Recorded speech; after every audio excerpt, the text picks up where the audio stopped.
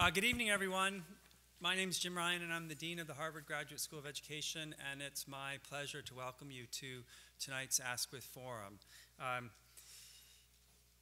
I am going to moderate a panel of experts on the subject of religion and education, and this is part of a year long conversation we've had in this community centered around the theme of fulfilling the promise of diversity. And the main point of the conversation has been to identify ways to ensure that diversity is a source of strength rather than a source of division.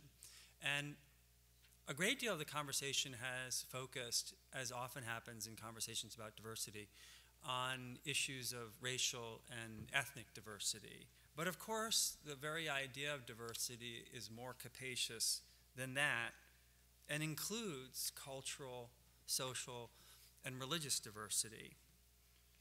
And the latter is really the subject of tonight's forum. And I think it's an incredibly important topic because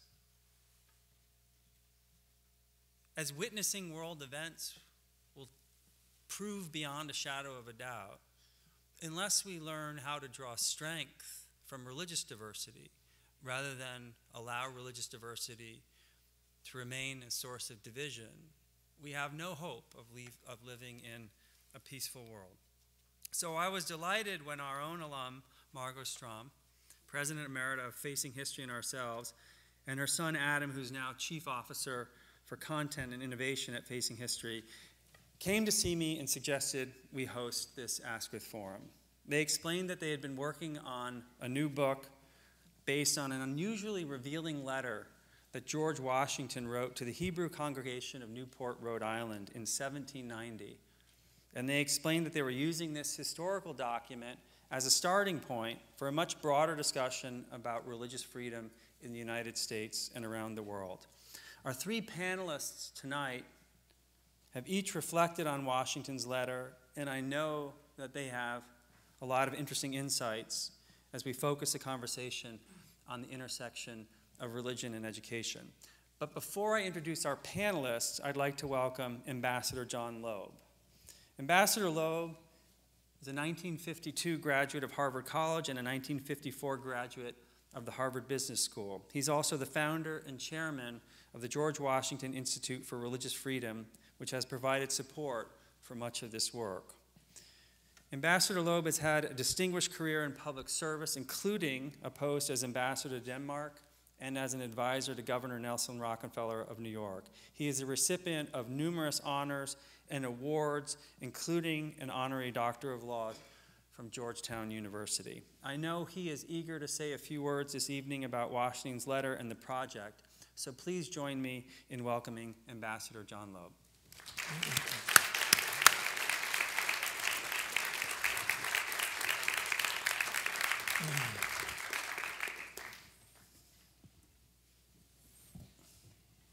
Dean Ryan, thank you very much for that kind in- introduction. You, you didn't tell some of the real important things and stories of my life. I'm glad you've limited to the good things. Um, this is the first, I think some of you know, this is the first public event um, to uh, of the launch, the first public event introducing the book. I don't know how many of you have the little sort of cover. This is a, a book. This is called Washington's Rebuke to Bigotry, um, which has his which has his historic, which includes his historic, which is his historic letter, the 1790 letter he wrote to the Hebrew congregation in Newport. As, as we mentioned in the book, it is a joint venture, a publication between Facing History and ourselves, and an organization, uh, and the organization that I founded and chair called the George Washington Institute for Religious Freedom. Let me tell you a little about how our partnership began. Five years ago, I had the pleasure of introducing Washington's extraordinary letter to Facing History's founder, Margaret Strom. It was sort of almost love at first sight between me and Margot, and, and George Washington was the intermediary. um, actually, we met down in, actually, actually I brought uh, Margot up to my television room in my house in New York to show her a short film about the whole, what we were doing, and that's really how it all began. Um,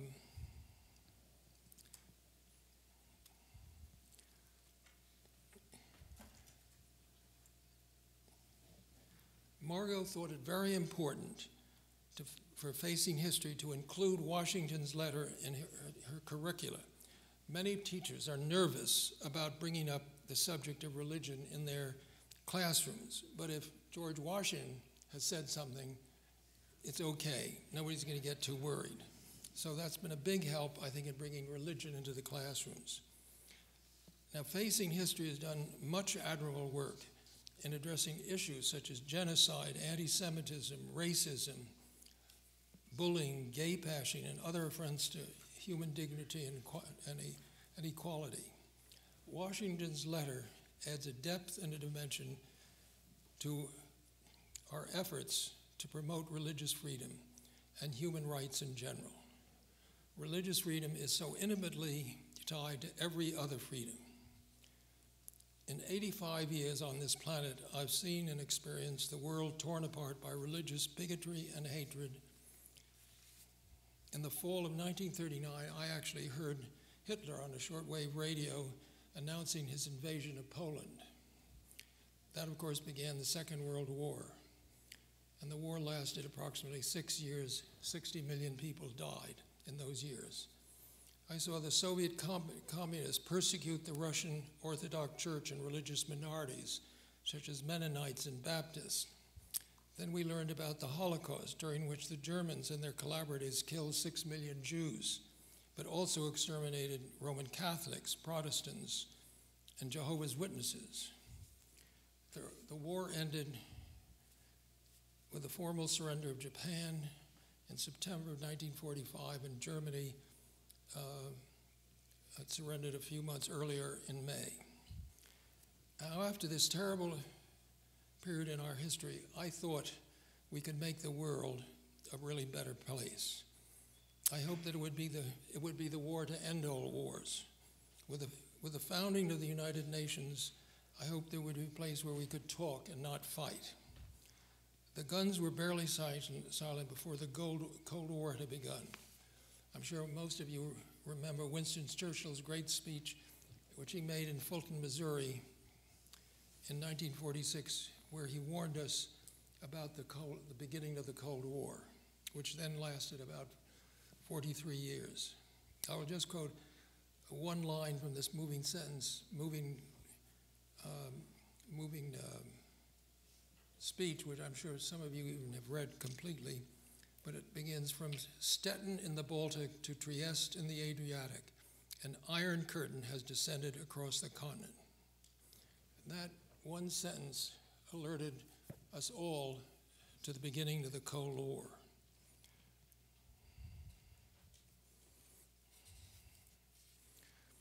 Now, despite the Cold War and the subsequent wars, even after the fall of of the Soviet Empire in the Balkans and other things such as the terrible uh, situation in Rwanda, I saw some rays of hope. In 1951, the convention of the, the, there was a convention on the prevention and punishment of the crime of genocide went into effect. There was the beginning of, of a post-war um, interfaith movement of Protestants, Catholics, and Jews. In 1960, the Catholic Church denounced, renounced anti Semitism. And perhaps there were places, at least in the West, where religion might no longer be invoked to justify discrimination or even murder. So, as we meet today, you can understand that I'm deeply discouraged by the revival of anti Semitism, particularly in the very Europe in which the Holocaust occurred. I'm dismayed that Israel, which was born with such hope and promise, is now almost surrounded on all sides by militant enemies. and is being turned into a pariah state, especially on American college campuses. And above all, I detest the rhetoric of extermination that nations like Iran and movements like Hamas espouse to, toward Israel. America and the world's other democracies face a direct challenge by many Muslims group to our belief in, to our belief in diversity and inclusion, especially women. We are confronted by radical Muslims who consider us infidels worthy of slaughter. They demonize and dehumanize us just as the Nazis denigrated the Jews. We must acknowledge and meet the threat. We must make clear that we will defend our democratic values as well as our lives.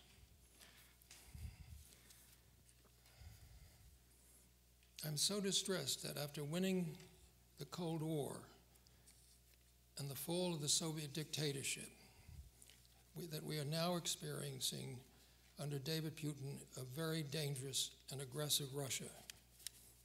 And, and until 9 11, we did not really understand the threat that we are facing in the Muslim world. Now let us hope that the real being worked out, that the, the deal being worked out with a nuclear Iran will gradually lead to an accommodation with that part of the world.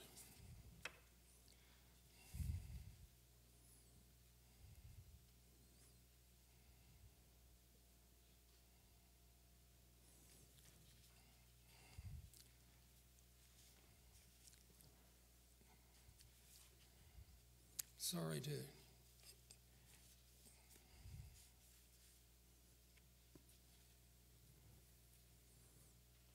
What are the excuse me, what are the values that we must nourish and defend? We knew look no farther than Washington's letter to the Hebrew congregation of Newport, the, the, the Hebrew congregation uh, of Newport for the answer.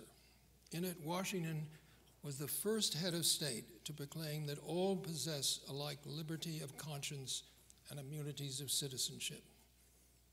He promised that the government of the United States would give to bigotry no sanction, to persecution no assistance. And finally, he went beyond the mere toleration of religious minorities to their full inclusion in society. And, quote, he said, is no longer that toleration is spoken of as if it were the indulgence of one class of people that another enjoyed the exercise of their inherent natural rights. In this letter, Washington offered a formula for securing these rights and for living together in harmony. Despite our religious and other cultural differences, he explained that happily the government of the United States requires only that they who live under its protection should demean themselves as good citizens. I do believe that the great majority of Muslims in the world wish to live in peace. As President Washington said, we welcome everyone basically, who welcomes us. But we cannot accept those who are determined to kill us. We are often told that the world is shrinking, that we are citizens of the world, not just our own nation. Our challenge, then, to paraphrase Washington's letter, is to assure that people of every faith and nation conduct themselves as good citizens in, the, in this world. I look forward to hearing our distinguished panel's perspectives now on George Washington's letter and religious freedom. Thank you.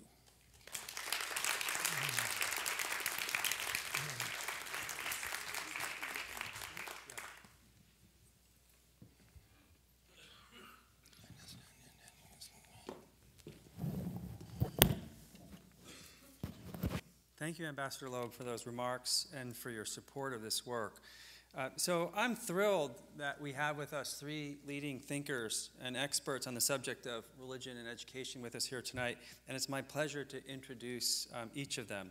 The first is Diane Moore um, from the Harvard Divinity School, where she is a senior lecturer on religious studies and education and a senior fellow at the Center for the Study of World Religions. Diane's research focuses on enhancing public understanding of the intersection of religion, conflict, and human rights in contemporary world affairs. An ordained minister She is well known for both her writing and advocacy on the subject of religious literacy, as well as for her outstanding teaching. She currently directs the Religious Literacy Project at the Divinity School, which provides resources and special training to educators, journalists, public health workers, foreign services, foreign service officers, and others dedicated to understanding the complex roles that religion plays in contemporary global, national, and local contexts. She's authored a book in 2007 entitled Overcoming Religious Illiteracy A Cultural Studies Approach to the Study of Religion in Secondary Education, which is a guide for educators who wish to include a discussion of religion into their curriculum. And last but not least, she has won teaching awards from both the Divinity School and the Extension School at Harvard. Our second panelist is Farah Pandith, whom we are delighted to welcome back to HGSE. Farah has spent most of her career in public service and was most recently appointed the first ever special representative to Muslim communities in June 2009 by Secretary of State Hillary Rodham Clinton, and she continued her service under Secretary John Kerry. In this role, she traveled to more than 80 countries and launched youth focused initiatives, including Generation Change, Viral Peace, the Transatlantic Leadership Network, and Hours Against Hate a campaign that was a partner with the London 2012 Olympic and Paralympic Games. For her, for her incredible dedication to building bridges between and among cultures around the world, in 2013 she was awarded the Secretary's Distinguished Honor Award for, quote, exceptionally outstanding service to the agencies of the United States government, resulting in achievements of marked national or international significance. She is a member of the Council of Foreign Relations, a member of the Leadership Council of Women and Girls Lead, and has been named one of the 100 most powerful women by Washingtonian Magazine, just to name a few accolades. She is spending time now at the Harvard Kennedy School and continues to spearhead initiatives designed to counter religious extremism. Finally, we have our own Fernando Reimers, the Ford Foundation Professor of Practice in International Education and Faculty Director of the International Education Policy Program. Fernando teaches truly beloved courses on education policy, democratic citizenship, social entrepreneurship, and others. And he advises leaders of governments, foundations, educational organizations, and international development agencies. His current research focuses on educational innovation and the impact of education policy, leadership, and teacher professional development on 21st century skills. And he is directing the Global Education Innovation Initiative across country study of 21st century education. He also has extensive experience in the area of international development assistance with the USAID, the World Bank, the Inter American Development Bank, and others. Fernando has worked and served in more countries than I can even name, including Australia, Brazil, China, Colombia, Egypt, El Salvador, India, Indonesia, Jordan, Mexico, Pakistan, Paraguay, Peru, Singapore, and Venezuela. I may have missed just a few. Um, I will stop there, and I'd ask you to please join me in welcoming the panelists.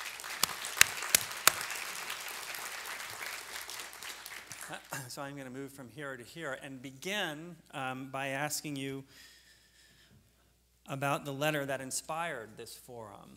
Um, so I'd, I'd like to hear from each of you, um, from your perspective, why this letter is a useful starting point for discussion about religion. What relevance does it have today for educators? Diane, why don't we start with you? Okay. I'm happy to start. I, I want to first, though, thank you, Dean, for this wonderful forum and for the invitation. I especially also want to thank Facing History, who has done remarkable work consistently around all of these kinds of issues and for leading the role in this regard to make these letters come to the light and a little bit more attention to them, and to Ambassador Loeb for your support and engagement of these letters and to bringing them also to the public forum. They're, they're a remarkable collection, and they are a wonderful starting point for this really critical conversation about religion, which has always been relevant and is especially so in our contemporary light. I have, I have many things to say about these letters, but I'll, I'll just I'll limit myself to three. Uh, first, they're just an eloquent commentary on the aspirations of, of a new nation and powerful in that regard. And I encourage you all to, to read the letters if you haven't had a chance to do so. They're, they're just remarkable commentary itself about aspirations at a very important time. They require us to look at context. That's my second point, the context of these letters. What was it that brought, came together that allowed for the warden of the quote Hebrew congregation to be able to address the president of the, the first president of the United States? What context was the historical and cultural context that allowed that to happen? It's not an accident that it was in Rhode Island. So we have to pay attention to context because it would not have happened in many other early states of the, of the Union. And then finally, and what I think is most important and most exciting, is that the letters require that we also look not only at them as aspirational, but also to use them as a guide for interrogating in an honest and ongoing way all the places and ways that we fail to live up to those aspirations. That's a really critical dimension of what it means to be in conversation about what we can become requires that we recognize places where we fall short of, of those, of those profound, um, inspiring possibilities for us. So the exchange of letters itself is a moment in history that we should celebrate. It's a, it's a, it's a, it's a place where we, we realize in a small way those aspirations. But we know that there's also a long and horrid history of anti Semitism, for example, in the US. So, what does it mean to take seriously those letters and also wrestle with what happens in places and times, particularly in the 1930s, where there was profound and direct anti Semitism, where we did give sanction to bigotry? There are many, many parts of our history where we also do give sanction to bigotry in spite of our aspirations to do otherwise.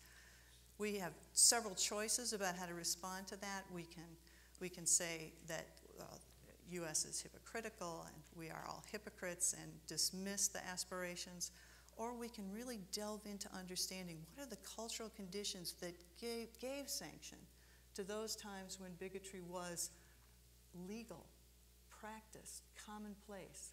And in my work, I'm especially eager to look at the ways that religion, the roles that religions play, complex roles that religions play, that do end up often giving sanction to that bigotry, but also the ways that religions function to challenge that bigotry.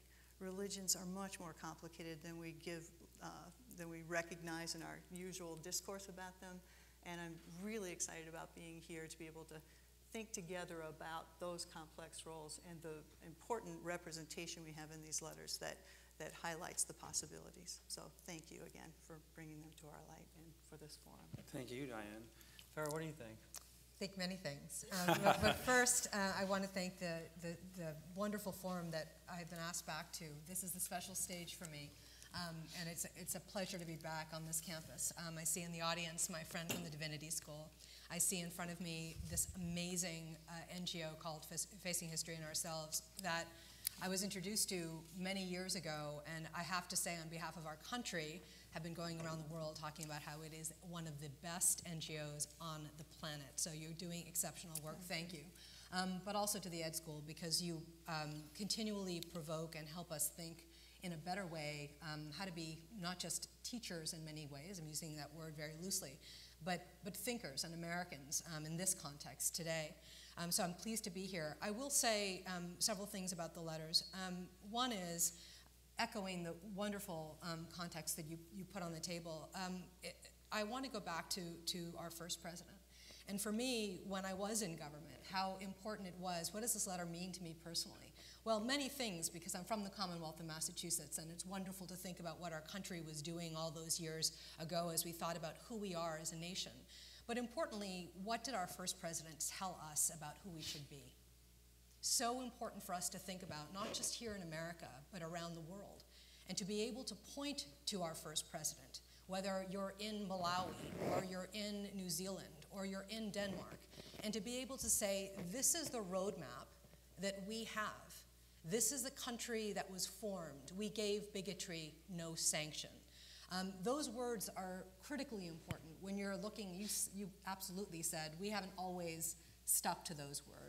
But the roadmap was charted for us by our first president. And in fact, one of the first things that I did when I was special representative to Muslim communities was to work with a historian from Harvard to document, because I didn't know, the history of our country in terms of what our president said about Islam and, and diplomacy. And for me, we started with that letter because it gave us the opportunity to build a platform of where we came from and where we are today. Now, I, I would say that letter made a huge difference in the work that I did as special representative, but it made a huge difference to me as a person. Why? Because it gave me uh, an opportunity to really think clearly about what we are promoting. And when you have a president that talks about mutual respect and doesn't talk about, quote, tolerance, a term that I cannot stand, um, it says something. What are, we, what are we aspiring to be? Who are we as Americans? And what is the shape of our country? What do we need to do to, to hit those words right smack um, where, where, they need to be. And I think it helps us all as policymakers um, and as people who think in a context that's more international, um, how we are allowed to, to speak as Americans and where we came from. Um, but the other thing is, that, uh, the other point I would make is um, for the millennials. Um, we're here in a forum that celebrates education. Um, many of the people in this room are probably educators um, and know firsthand what it means to be in a classroom teaching young people. Um, but I think for us, this letter is really pivotal because it, it gives us an opportunity to sketch a, um, a picture of, uh, of a place that they can visually think about as, as young people. Uh, what I see in the work that I do with young kids under the age of 30, and I call them kids because um, the human brain is not developed until their mid 20s. Um, how you think about what you want to be and what our founding fathers did is a really important tool in the classroom. Um, so, as individuals, as teachers, and as a country, the letter makes a huge difference to me. Thanks. Fernando. So, Jim, let me first thank you for your leadership in uh, causing us to have these conversations on diversity because I can think of nothing more important for leading school of education than pausing and asking about the moral purpose of the enterprise. So, thank you. And I want to thank Adam Strom, who invited me to write a, a chapter in this book, which will be published next week. And you should all buy it and buy it for your friends as a birthday present. Buy many of these copies um, it, was, it was really very valuable for me to have an opportunity to read this letter and to imagine the exchange between these two men, George Washington and Moses Seixas, in the time in which this exchange was taking place. So picture these. George Washington comes on a public relations trip to Rhode Island, the last state to ratify the Constitution. He comes with Thomas Jefferson and with the governor and he's greeted by many constituencies. And this letter is a response to one of those constituencies. And as, as I read the letter, I see that this letter is an expression of the entire project of the Enlightenment. This project that basically argued a revolutionary idea that ordinary people could rule themselves. And they could rule themselves by achieving a very difficult balance between guaranteeing every person freedom without regard for any condition, and creating the means to come together with others for self improvement, to work to improve society, our communities. Now, are those messages relevant to American democracy today? Absolutely relevant. Why are they relevant? One, because religious identity is a very important way in which many people define who they are in the US and elsewhere. One of the things I did in my chapter was to look at where we were as a country using data from the World Values Survey and then comparing the responses that people in the United States give to a number of questions, such as how important is religion to your life, which for half of Americans is very important, and for an additional quarter is pretty important. So that's a sizable number. That's most people. But it's even much more important in countries like Indonesia or Jordan or other nations. So religious identity is part of who we are. And in a world where we all come into contact with people of different identities, the notion of how, do we are, how are we prepared to understand the other and who they are, and what does this religious identity mean along with the other multiple identities that we all have. Uh, and how do we have the skills to engage in common cause with others in improving the communities of which they are a part? To me, this is the task of education. This is why we invented public schools. Now, what does that mean in practice? Well, I think it means at least three things in the United States and possibly elsewhere. There is what uh, Diane Moore calls religion as learning, what do you call it, devotional practice, right? Or, or Distinction, you'll talk, yeah. you'll talk more about that. And so being, being educated within a religious tradition. And that's not the piece that most interests me at the moment as I think about this letter. There is also the study of religion as a cultural product, the way one would study history or politics or sociology. And I think that kind of study is equipping students to understand, first of all, how much variation there is within any religious faith in how individuals interpret that tradition and how that translates into how they behave and think politically, uh, how they associate with others. And so, in my view, our schools, certainly our high schools, maybe before, should engage our students in looking at data such as the data that well, the World Values Survey or the Pew Research Organization generates on how religion connects with how people think about a whole range of issues, including politics. And then there's the third dimension. So I've talked about being inculcated into a religious faith, learning to understand religious, religion as a cultural artifact and having the tools to understand how it shapes our lives, and then finally, developing the practices, the skills, but especially the dispositions, the affect, to engage with others who might have different religious faiths. And I think that is a hugely important mission of schools in this country and elsewhere, particularly because there is, in many different religious traditions, a strand of those practices which are deeply intolerant. And so that's complicated. Uh, that's complicated in any nation if we are going to have the ability to build common cause so we can have peace. So, in reading that letter, I was struck by the genius of the letter and by the genius. I mean, this idea is intertwined at the hip with the very idea of what it means to build a democratic nation. And um, so, thank you, Adam. So- and, and do buy the book. Um, thank you, Fernando. I want to pick up on um, the topic of religion in education, given that we are an education school. And um, Farah and Diane, to ask you, to what extent do you think religion should be in public school classrooms? Um, you know, Fernando has described certain ways to approach the topic of religion. Um, we obviously have enshrined in our Constitution the idea of the separation of church and state, so there's, there, there can be no proselytizing.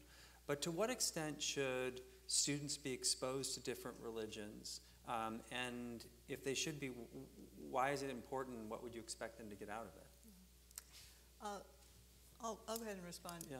So one, one resource I just want to point out for everyone is that the American Academy of Religion, which is the uh, professional organization of scholars of religious studies, so like scholars of any discipline in schools, um, we have put together a, a set of guidelines for uh, teachers in teaching about religion in K through 12 public schools in the United States.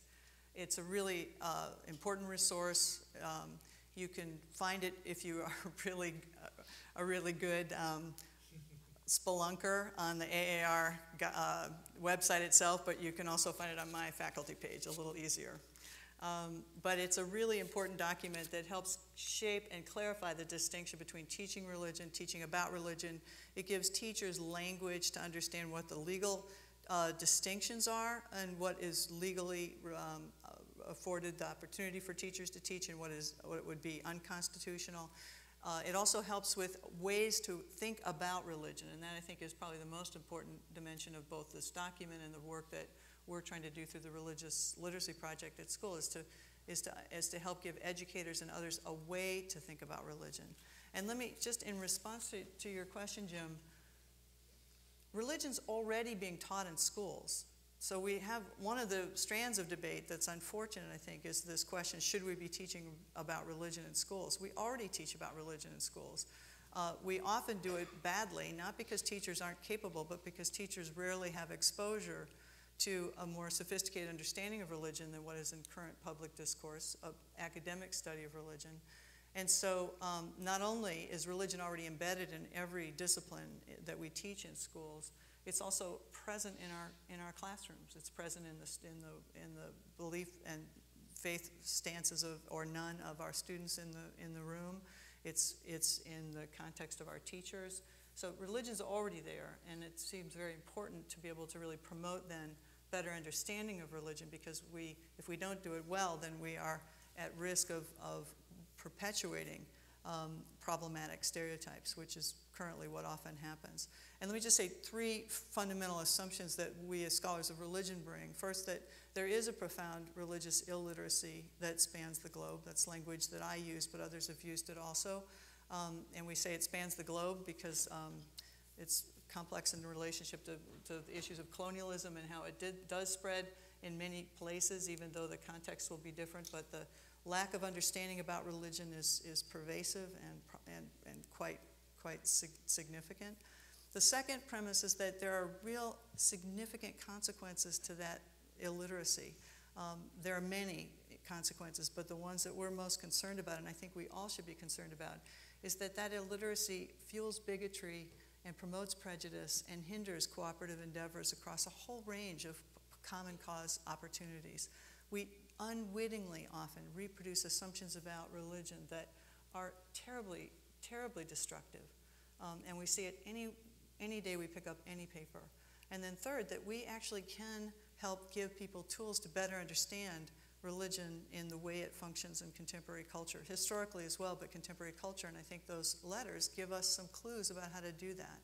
Um, and so, not just about not just helping teachers think in that way, although that's the work that we're trying to do and that Facing History is doing so well, is to promote a way for teachers to understand how to how to think about religion, not just information about religion, uh, religious practices or ritual practices. Religion is much more complicated than that and infused in all dimensions of our curriculum. Terrific. I want to I want to come back to one thing that you said, but I, Farah. I'd Well, like to hear so, you you know, I, obviously, I mean, I would agree with what Diane said. I mean, one, and Fernando, America is one of the most faithful con- Western countries in the world. I mean, if you look at all the data out there, you can see how we are faith-based communities. We really are. Um, and it's a very striking thing um, to, to be able to say, and I think it's, that's good news in many ways because it opens a door um, for the conversation about religion in the classroom. You asked a question, uh, should we teach it? How, Yeah. Yes, of course, we're teaching it already, both in private schools and in public schools, in all kinds of different ways, in a cultural context, in a historical context, in a quote religious context. Um, but I think the bad news is what, what Diane said, which is um, oftentimes we are forced to discuss these things because of headlines that we see in the paper or stereotypes that come forward. And I can certainly tell you um, that's been problematic in a post 9 11 world for, for a lot of different reasons um, here in America because we have become even more ingrained in our uh, assumptions of what we think we know about a particular faith, which is really troubling. We, I know we're going to talk about some of that. Um, but the other thing, from my perspective, certainly um, I've been interfacing a lot with Muslim youth. And um, for them, learning about religion, whether you're in this country or outside of this country, you go to Sheikh Google. And Sheikh Google tells you answers. They don't go to their teachers. And so, what I want in the classroom is I want provocative discussions that, that push back against what Sheikh Google might or may or may not tell them. And that may be in the context of Muslim kids, but this is true of Hindu kids and Buddhist kids and Jewish kids and Christian kids and people who don't have a particular religion that they're putting forward. How do you learn? How do you learn to accept the diversity of different faiths, even within it? Which is the, my second point when we are very one dimensional when we talk about a faith. This is what a Christian is, this is what a Jew is, this is what a Hindu is. I mean, come on. There is so much diversity out there, and we don't take the, we don't have the time, and we don't take the time to unpack and talk about the nuances, and the nuances matter. So the third point I'd make, and this is a very specific um, piece for here in the United States, as, as dramatic as this may sound, um, for the Muslim communities that, that I have been um, interfacing with, we have become a nation that is even more strident about the right kind of religious practice. So it is not just teaching about religion, it's, it's teaching the, the shade of that religion that seems right to you, um, which obviously is not something that is going to promote mutual respect across the board. How do we understand, understand that as in, in the larger picture of America and what that means for the youth demographic that's moving through schools right now and will become our, our, um, our teachers, our business leaders, our policy leaders? What's that going to mean for them as they think about things? When we talk about diversity in America, we are very one dimensional as we do that. We aren't talking about religious diversity. And by the way, we check the boxes. Yes, there's somebody who is that over there. What does that mean exactly?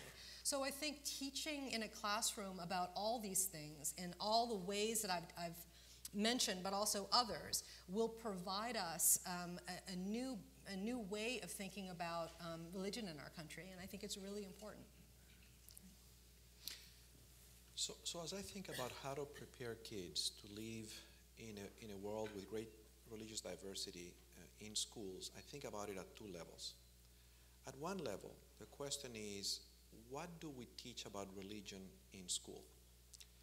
And the answer is complicated because I can describe the ideal, and then I have to think about the schools we have and the teachers we have. And let me pause. So, in the ideal world, yes, of course, we should teach children to think deeply and to have deep understanding about religion, the way Diane does throughout her project, the way Diane Eck does here at Harvard. And in places where we have very capable teachers, faculty, who can essentially teach students to think with nuance about the fact that there is this variation that I was talking about in religion, that, re that the religious practice changes over time. There's great variation among nations. But you can't teach what you don't understand. And so then the question in my mind is should we require a curriculum that teaches about religion and what would we need to do to make sure that if we're going to do that it's well done mm-hmm. and i think teaching religion is a little bit different than teaching math i'm not going to make a case for teaching poor math but if you teach math with teachers that are not very well prepared you're certainly not going to help that student but not much is going to happen i think beyond that but with this, the mix about religion, I think, is very explosive.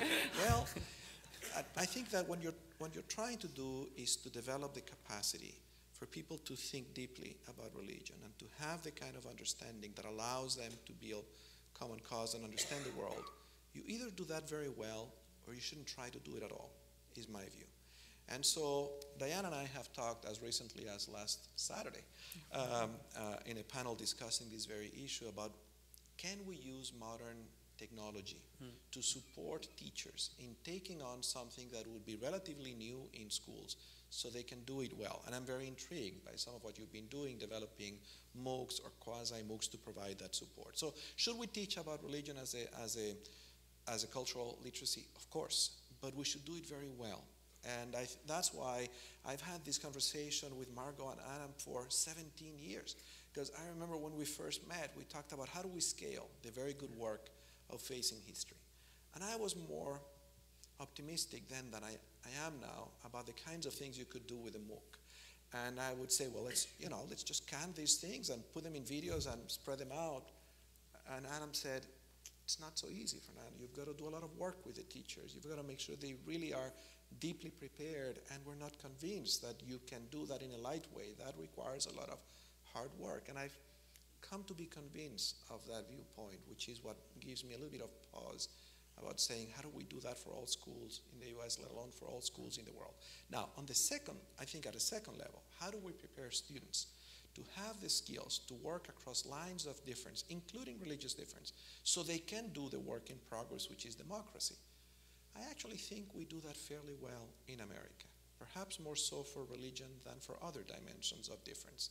Um, and we do that not in religious classes, we do that in sports teams.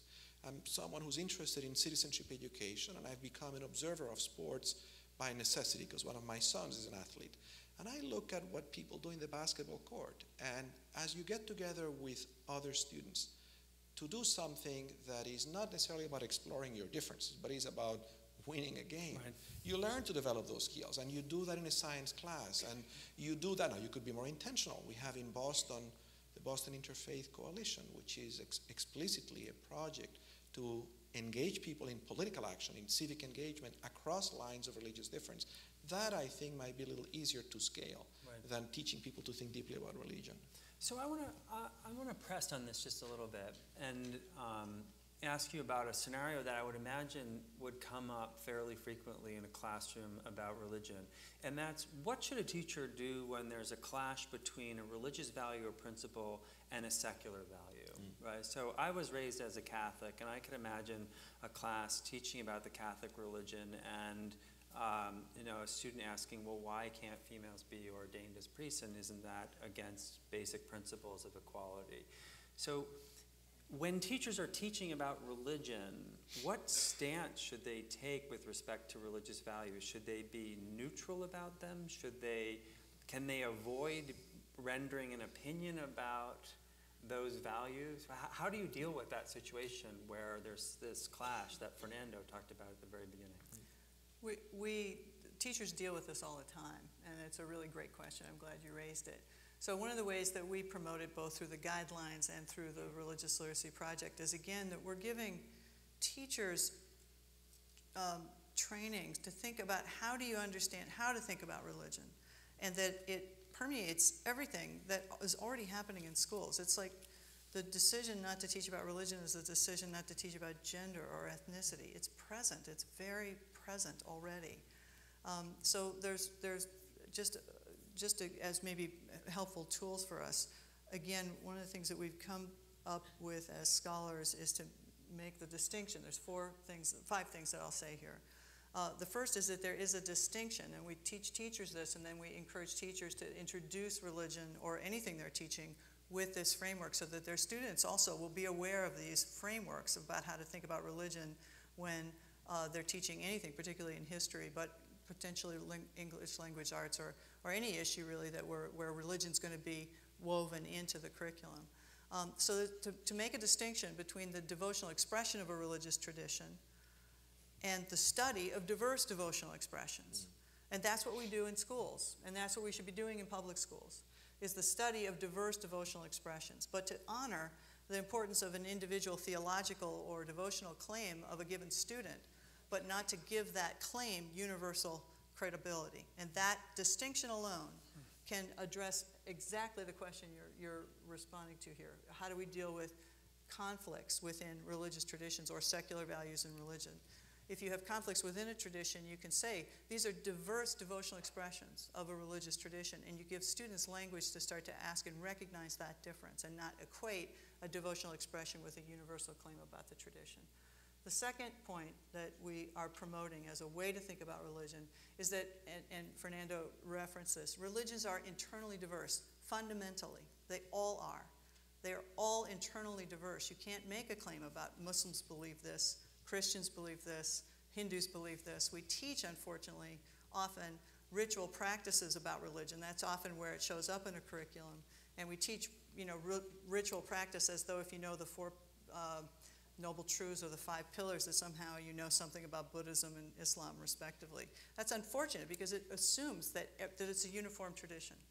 Uh, and it's not. Religions are internally diverse. The third point religions evolve and change, they're not static. So, similarly, if again, if we're teaching the Four Noble Truths, the five pillars, it's as though there's something kind of consistent and concrete about what that even means. And instead, we're encouraging people to think about what's the cultural and historical context in which those questions, and not even all Buddhists or uh, Muslims practice the Four Noble Truths, the five pillars, etc. So, so context matters.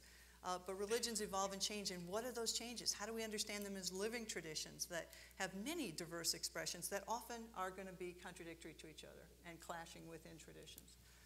Uh, a really other critical point is religion is not positive or negative. We have these fights about religion's a good force or a bad force, or this isn't really Islam if it's related to extremism. It's somehow political and not religious. Uh, that's like saying the Crusaders weren't really Christian in some significant ways. It's looking and saying religions are themselves a powerful force in human expression. And they give and they are used and have been used historically and are currently being used to give credibility to the full range of human agency. And so rather than be in a conversation about, well, that's not really Islam if it's representing something that we don't agree with, or Christianity or Buddhism in Myanmar, for example, rather than do that, to say re- religions do legitimately get you, they're legitimate expressions of religion. To say that the Taliban, Al Qaeda, ISIL, um, those promoting the, the Crusades, those you know, bombing abortion clinics, those are, those are, those are also ex, uh, legitimate expressions of a religious conviction. We need to give credibility to that and give people language to be able to make claims then about the distinctions around how religions are used, not whether they're good or bad. And then finally, religions are embedded in all dimensions of human experience. We have a language where we think this is religion that lives over here in our piety and in our ritual expression as though it doesn't permeate and isn't itself affected by and affect political, economic, and cultural life. Fernando referenced that as well. Religion permeates cultures. And how, the question is, where does religion, how is religion functioning in a given moment? Not, is it there, but how is it there?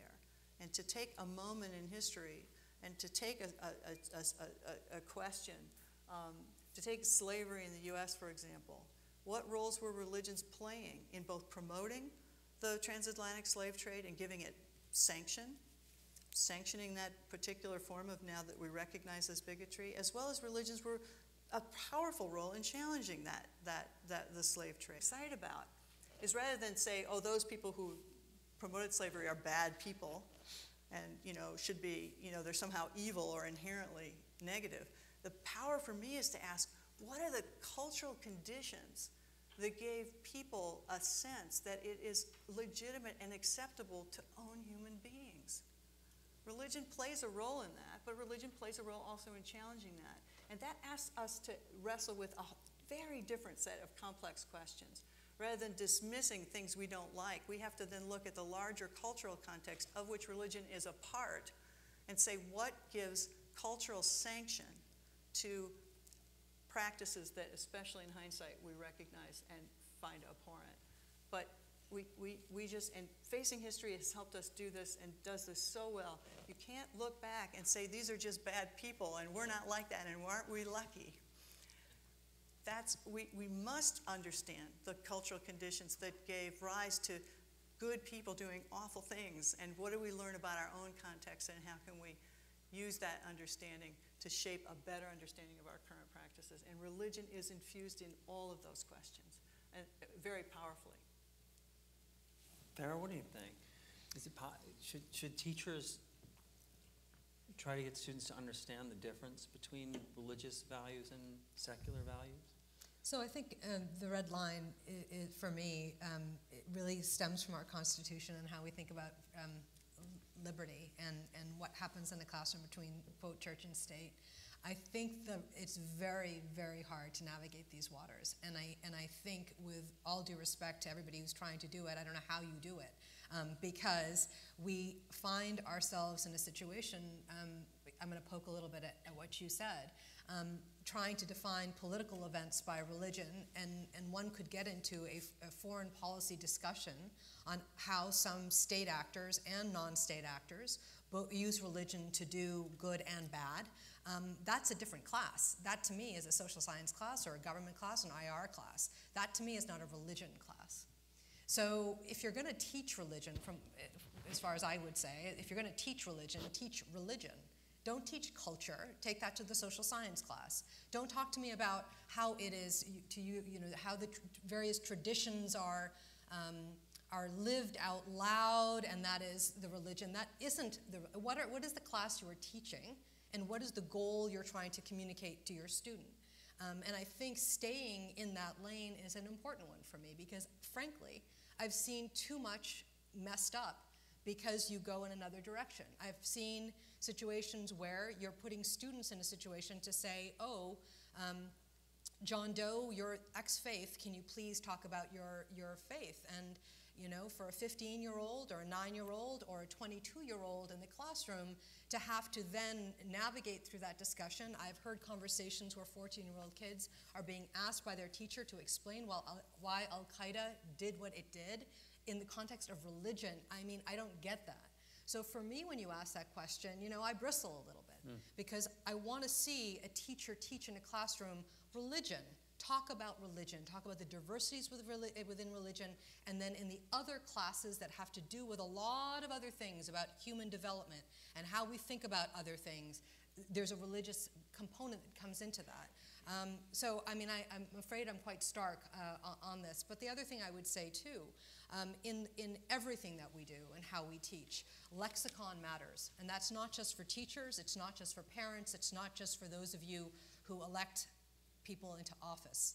Lexicon matters. How you say things matter. The judgments in the terms that you use matter. And that plays a different plays out in the way in which kids absorb and understand what dignity means. Let me give you a very specific example. Um, when I grew up, um, going to school outside of Boston, and I have two classmates, I'm not going to look at them, from my high school who are here in the audience with me today, and I'm really grateful that they're here. It's wonderful that they are. But the, the terminology Muslim world was used a lot. Mm. Uh, when I went to the Fletcher School and did my master's, the term Muslim world was used a lot. I used it. I wrote my thesis. I said Muslim world. Today, when you use that, think about that. Just mm. think about it for a minute. What mm. do you mean exactly when you say Muslim world? Mm-hmm. Are you suggesting that Muslims have a special little place in which they live? That there's a little universe and they're all the same? Um, it's very offensive and it doesn't make sense, especially in the context of everything that we understand that's happening on the planet right now. Lexicon matters. Um, what, what is a better terminology to use? Sometimes the words are longer. Sometimes it takes more time to do that. When you're teaching about religion, teach, if you're in an American classroom, use American English. Talk about things that make sense for the kids so they absorb it. What we have found ourselves doing in the context of 9 11 is trying to be extremely PC about how we do things and how we talk about things. And I say this for a broader point. This isn't just about Muslims, it's not just about teaching about Islam, it's about teaching about everything that we're, we're dealing with when it comes to religion because the backlash on that plays out in ways that I've seen all over the world and in the ways others hear us talk. And that's the last point I want to make. When you are teaching a young American kid um, about religion, it means that when that child is growing up and speaking about things and how they absorb that, they interface with the rest of the world virtually and non virtually, right? How others perceive American young people thinking about their faiths makes a difference to our bottom line.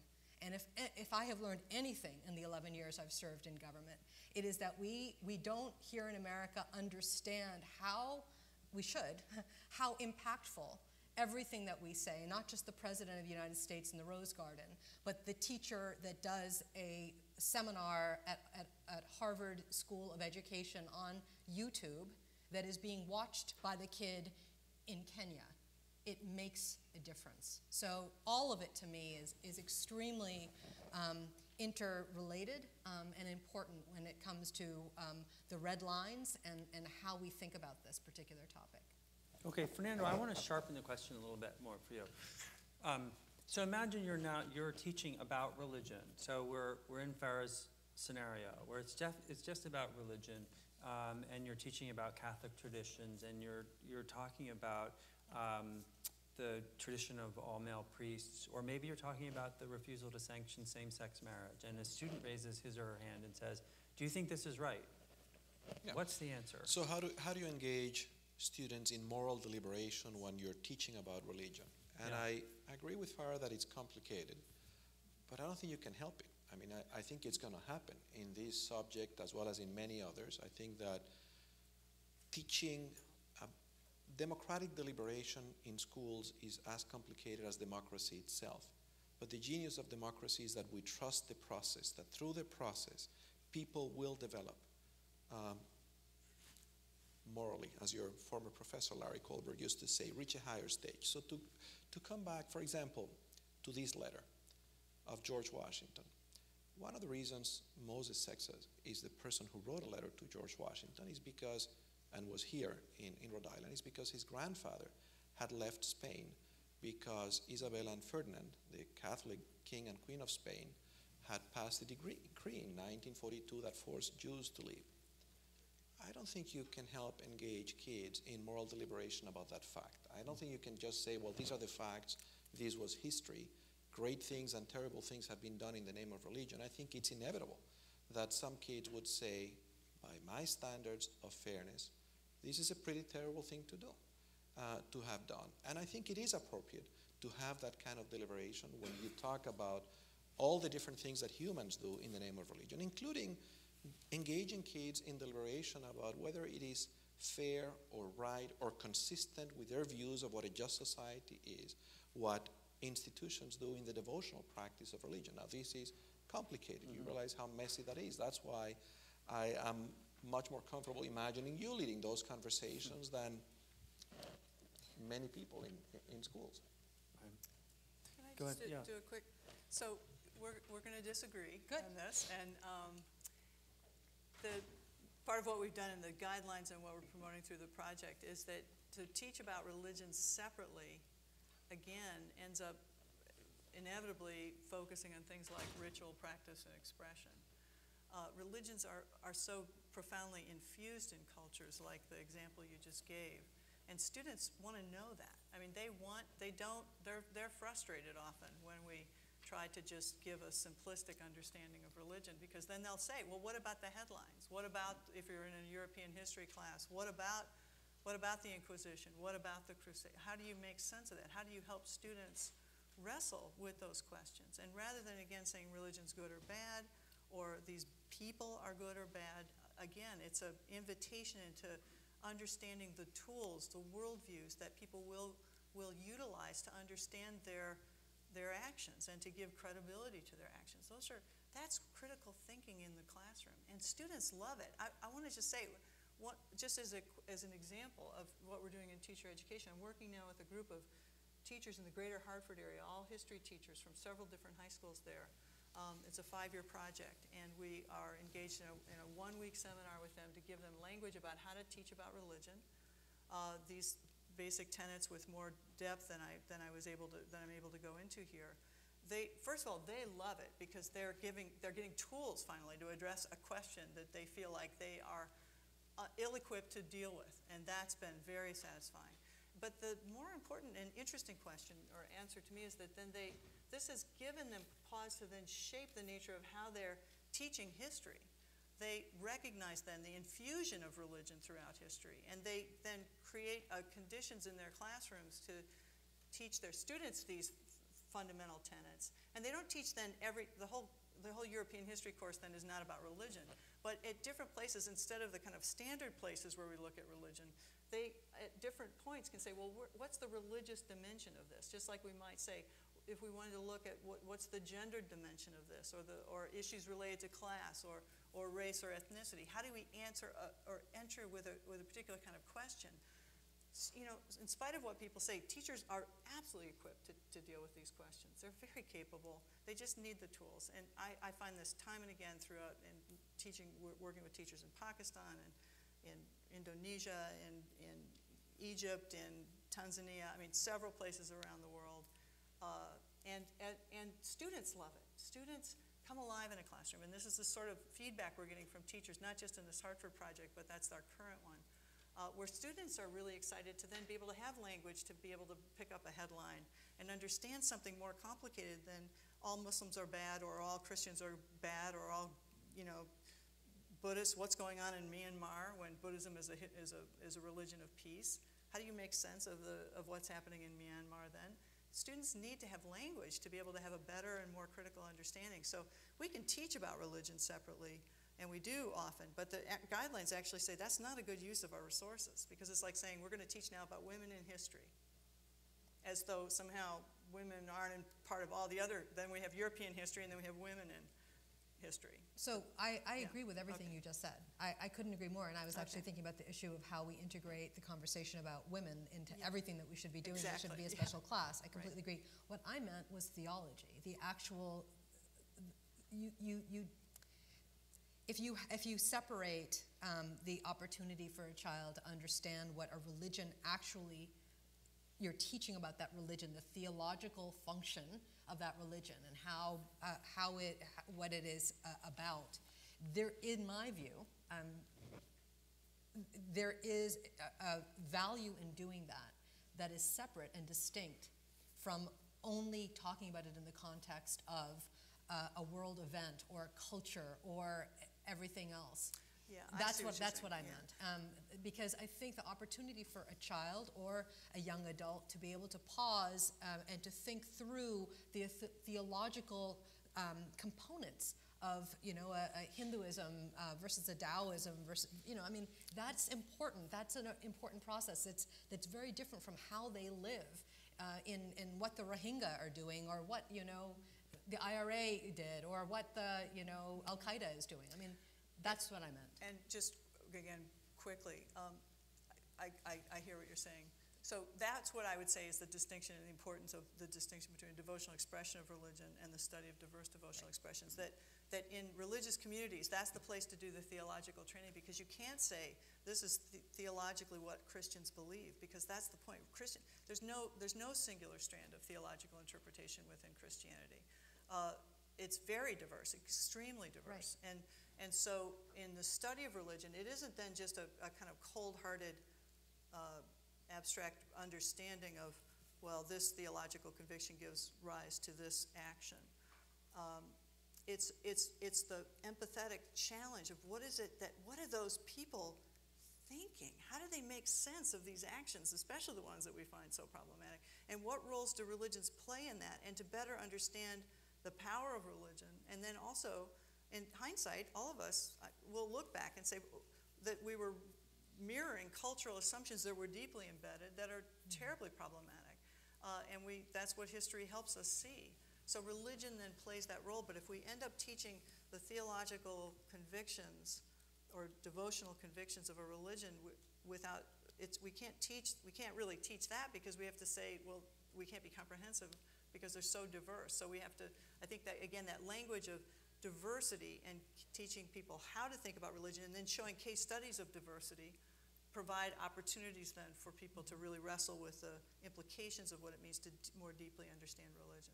So I think we, I think we agree, we're just a little different in the relationship to what it means to then teach, teach about religion in the And, context and, of and school. even if you don't agree, what this conversation is making me think about is the value that there would be in engaging students in these kinds of deliberations, which are complicated. I think you're right. Yeah. This is not easy stuff. But as you think about why do we want to engage students in these deliberations in the first place, which is to prepare them to function in a place that is diverse, well, I can't think of a better way to do it. Um, but, but it is high stakes. I mean, you do need, as I imagine the school that could do that, you need to have the conditions that would allow people to take the risks, to have these conversations. Uh, and, and that- that's complex. Right. Well, and pre- precisely because of what something you said earlier, which is that for many students, it's so closely tied to identity. Right? So it's not an issue that you can distance from for many students. So we have a couple of microphones up, and I want to leave time for um, questions from the audience. So if you do have a question, please come to the microphone. While you are either contemplating questions or moving to the microphone, I just want to ask one last simple question, which is, can education be a way to guard against religious extremism? And if so, how? It's a simple question. Oh my God. Well, in the, in the context of, of um, Al Qaeda, Boko Haram, um, ISIS, and every other affiliate of this vile um, ideology, yes, uh, clearly uh, we have to do more to understand um, the process of radicalization. And, and I will say how important this, the classroom is. Um, I talked about Sheikh Google earlier, um, and that is where millennials go to learn about their identity. Uh, Muslim youth around the world, we're talking um, some stats for you, just to give us some context 1.6 billion Muslims in the world, which is one fourth of humanity, and 62% of that number is under the age of 30. Um, those are huge numbers. Um, the vast majority of Muslim millennials, obviously, there's never going to be a problem in their life. Right. But let us remember that the machinery of the extremists has funding and they have the ability to saturate and, and to lure and to seduce young kids uh, online and offline. Now, education. If you are a young person and you're having a crisis of identity, which is the only and singular data point that I've seen with young millennials all over the world, whether you're in Detroit or you're in Dhaka, um, it is, uh, it is, it, it- we're not here to talk about extremism, so I'm not going to get into why, but crisis of identity. You're searching for answers. Um, and for many of these young kids, it's a religious identity that they want to push towards. They think about gangs and how they recruit and belonging. And I say all this because um, we do not have the ability to saturate the marketplace with counter narratives from the narratives that the, the bad guys are using. And education is a fundamental place where you need to start with that. You need to, to, to bust this wide open. You need to talk about the diversity of Islam around the world. Young Muslim kids don't know the diversity of, uh, of, of Islam around the world. They think culture rather than religion.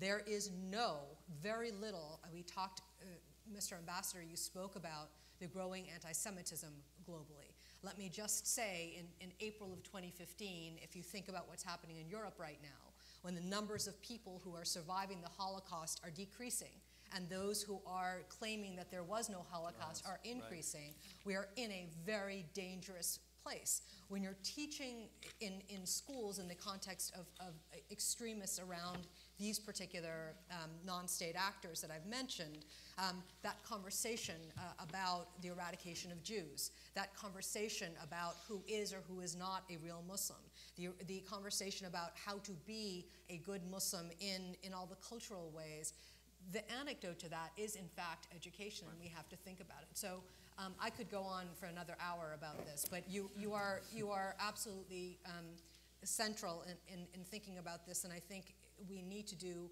more as a nation, frankly, with our educators to help think about creative solutions for this particular problem that we have on the planet right now. Thank you. I agree. Maybe brief so we have time for Just questions? quickly, Okay. it's a hugely Thank you. important question because religious conflict, I think, is one of the most serious challenges, the potential for conflict that we have in our time. So figuring out how to diffuse that, how to prevent it is important. We should value, when you look comparatively at radicalization, look at young kids, children of immigrants who have joined ISIS in the United States versus Europe. There's a huge difference. It's a couple of dozens in the US, it's in the thousands in Europe. And so we obviously need to do progress, but I'm all, I haven't studied this thing with other data than what is reported in the newspapers. Based on that, it would seem to me that there is something very different happening uh, in the old continent than what is happening here, and I think we should try to understand it. I do know I had the chance over the summer to participate in an expert group convened by the counterterrorism unit in the UN looking at this question, and the consensus of everybody there is that education can indeed be part of the solution, and that education is in many places part of the problem, that education is being used Right. as a tool to promote intolerance and hatred and, and radicalization. Right. Well, in some ways, it gets to Diane's point that whether you teach about it directly or not, you're teaching about it. Right. You can't, put- you can't avoid the topic. right? Um, so, given the lateness of the hour, um, I would ask that you um, keep your questions as brief as possible and that there be a question mark at the end of the questions. Thank you. I've, I've moderated many a forum and had to make that comment. Um, my name is Greg Epstein. Uh, thank you to the panel. Thank you to Ambassador Loeb. It's been a real pleasure and honor working with you over the years as well. Uh, wish I didn't have to, but I think it's really important to make a point about the non religious in a situation like this because I've been attending academic forums like this for 15 or more years, and it's getting tiresome to have to ask a question and have it be a footnote at the end of a panel like this that there are a billion non religious people in the world, that there are hundreds of millions of atheists and agnostics self identifying in the world, that here in the United States we've reached 18% of the population and over a third of the young adult population.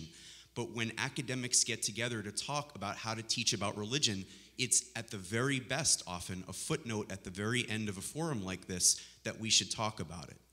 And so, my question is what can we do to improve that situation? Okay. This is a good question. Yeah. It was my fourth question. I'm sorry I, I didn't get to it, but this is a very good point. So one of the ways that we do it in the context of the Religious Literacy Project is this, is this more expansive understanding of religion, also then can translate into worldview, and that's really what we're after. And to look at the nature of worldview and religion as one worldview, a type types of worldviews, if you will. And that's what that's how it gets taught. It's looking at what are the frameworks. And there's a great uh, essay by Irving Greenberg following the Holocaust, who wrote I think it's called Sm- uh, pillars of smoke and fire, saying that secularism, Judaism, and Christianity all failed uh, to address what it means to confront burning children, and that it's worldview that needs to be challenged and looked at in relationship to how we confront a post-Holocaust world. And that's absolutely consistent with the frameworks that we're talking about. We just, I just talked about religion today because that's the panel, but you're right, it's about worldview. Hello. So, something uh, I know you, the two of you, uh, Diane and Farah, you were talking about how you thought you were disagreeing about something, um, and it seemed to me that what you thought you might have been disagreeing about was study of versus study about religion. Um, and so, I was wondering what you think the purpose of studying religions in schools should be. Is it something that should be more of a historical look at cultural movements? Is it something that should be um, an analytical lens through which we interpret current events. Uh, because religion is unique in the sense that it's a set of tools and values by which people live their lives. Um, and is that something that should be removed from it? Or is it something that should be taught as here are some tools that you in the classroom might want to use in the same way that you would use mathematical equations? So, what should the purpose of teaching religion be? Again, I, we, the purpose of teaching about religion is it's a powerful human force. And we want to teach people how to understand that force in a more complex way than is often represented in public discourse.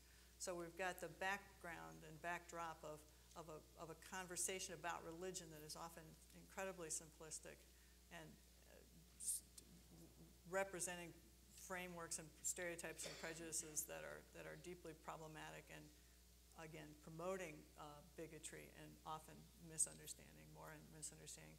So the purpose of teaching about religion is that it's like the purpose of teaching about any of the concerns around uh, identity and its formation and its, and its role in human experience. So I think again we already teach about it. So that's my that's my sense is that we teach about religion to help give people language to counter the current ways we have been discussing about religion and its role in contemporary culture and his, contemporary and historical context. Uh, I take a little, I agree, um, but I would also say um, I take a more global view in the sense of where we, where, where, where we have been and who we are. Um, you can't go anywhere in the world without seeing the impacts, like art. I mean, you, it's everywhere. It, it's human. It's who we are as humans. When you think about, by the way, like advertising campaigns right now, think about how often we humans are this, we humans are that. We, we have this need, this, this, this, this need to find out where we, where we came from and why we're doing what we're doing, and religion fits into that. So when I think about why it's important, it's sort of this human story. It's, it's, it's how we've lived, what civilizations mean. Um, and why has it been so painful for everybody to watch the destruction of these historic sites um, on our television screens? Why do we weep when we see that the Buddhas that were around for 2,000 years are no longer? Um, why does it hurt our heart? It hurts us because we are human um, and because we understand that human experience. And I think that, that, for me, that's part of, part of why it's important. Um, good evening. Thank you. My name is uh, Judy Beals, and my question has to do with uh, teaching appreciation versus understanding or tolerance.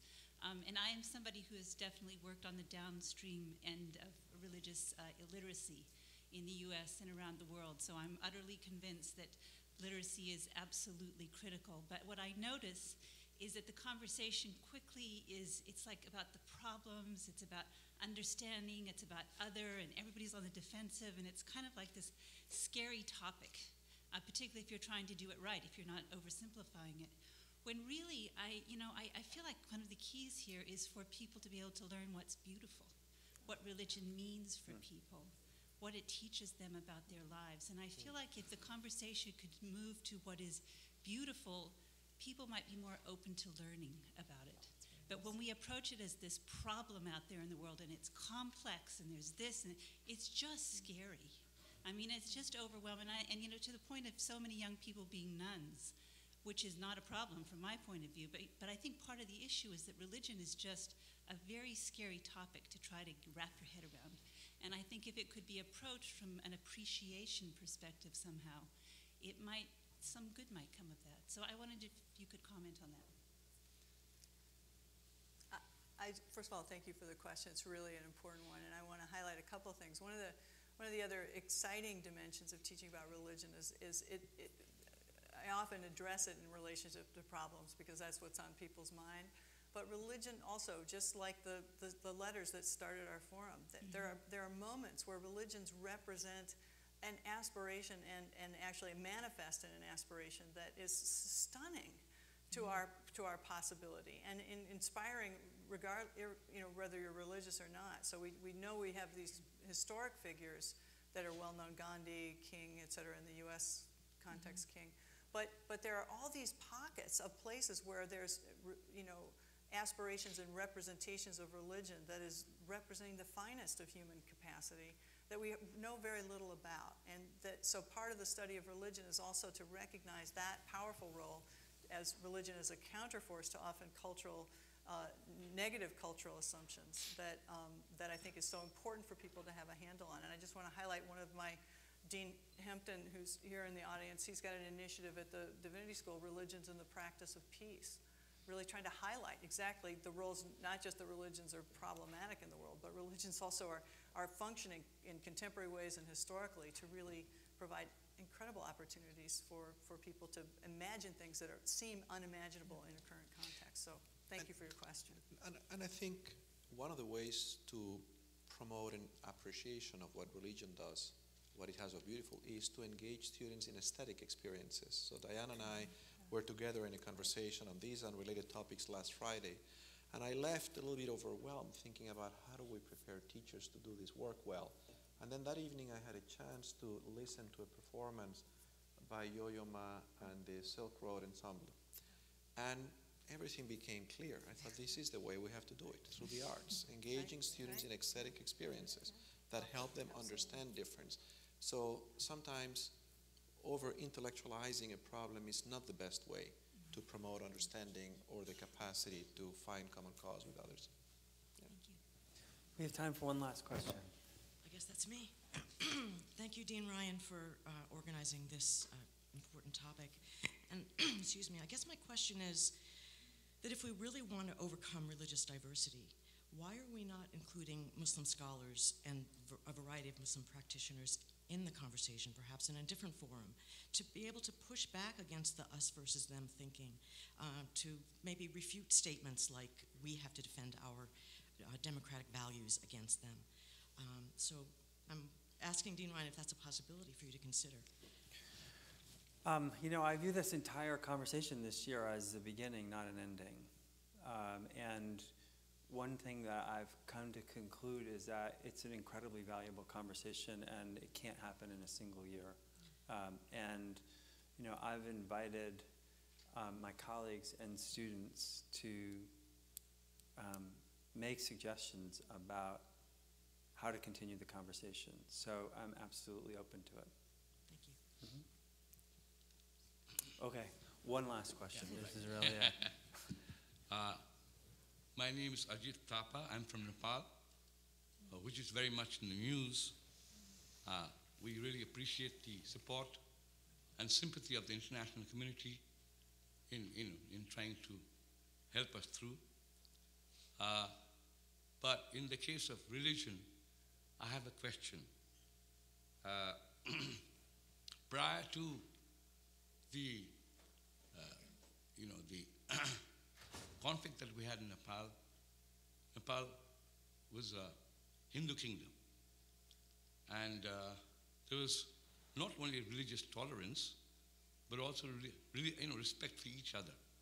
Even as, as a Hindu state, you know, the government used to fund trips, pilgrimage to Mecca, Medina, and to, you know, other religious, for other religious communities also. And uh, when we had this uh, uh, Constituent Assembly elections, none of the parties, political parties, had secularism in their manifesto. None. Right? But then the Maoists came to power from the ballot, or whatever. And suddenly, you know, we have a resolution which says Nepal has become secular. Uh, for those of you who have studied Nepal, you know, it's, it's a developing country, there's problems, and our leaders also amenable amenable to twists and pressures and, and even greed, I guess. So what, has, what really happened was that, uh, you know, our leaders were somehow coerced by some international community to make it secular. Now, what is the problem with this? The problem with this is that the Hindus, and which are 80%, you know, they, they adore the cow. Okay, they, they don't believe in cow slaughter. And prior to Nepal being secular, even as a Hindu state, there was complete religious harmony. And what this has done is bring in a new point of flashpoint. And if there are now, you know, cow slaughters by community, because you know the law does not forward in doing so, then there could be it could antagonize the majority. So my question is, has the international community, by pressurizing our leaders to make Nepal secular from an Hindu state, done a good job for Nepal or not? Thank you. An- Another easy question to end the, end the panel. I don't know how George Washington would answer that question. Um, so first of all, I, I would want to say, and I'm sure started off talking about the earthquake, and, and obviously uh, we are all um, devastated by the images that we've seen on TV, and I think the numbers are growing. So it's a terrible moment, um, and I really hope that those that are close to you um, are safe. Um, I will say that the phenomenon that's happened in Nepal um, is not an isolated one. We've seen all kinds of changes that have happened in governments that were a particular faith that have moved to secular to a secular state. I, I'm not going to have a conversation about Nepalese foreign policy, domestic policy, or U.S. policy towards Nepal. Uh, I'm not going to do that. But I will say you make a very interesting point um, about the changes that have happened. Um, I will say the jury is out in terms of what is going to take place in countries like that because um, there is a clash of conversation that's happening on the global front politically, both countries that are standing up their religions more, more forcefully, and those that are trying to pretend that they are, um, uh, well, I don't even want to use the secular, but religion's not, I, can secular, I guess, that only, yeah, yeah, I, it's, not the right term. But anyway, um, you're going to see a lot of changes that are taking place, and I think um, from the diplomatic point of view, from the U.S. diplomatic point of view, um, that's been a navigation that's been unbelievably complicated. Um, but I will say, um, uh, because our values, we, when we look at countries that are promoting a particular frame of reference uh, from a government point of view, let me give you Saudi Arabia, for example, um, that claims itself to be a Islam, the Islamic kingdom of, um, does not have the same values that we have vis-a-vis human rights and how we express religion. There are no churches in Saudi Arabia, for example. How, is, how does the United, like the question you should be asking, I think, sir, is how is the United States going to interface with countries that are shifting on these two paradigms, both that are very secular, so to speak, and those that are becoming increasingly more religious? Farah, thanks very much. Thanks to all of you for coming, and please join me in thanking the panel. Thank you. I saw you. I saw you. I have Yeah, reflect when I I said we don't have the same. Um, Do you think that? Uh, Oh, that's a much longer I wonder is, conversation, and there are um, I mean, the why it's very, guidelines. Don't- don't- Do they have, um, is there a view about when to start? Or do, may-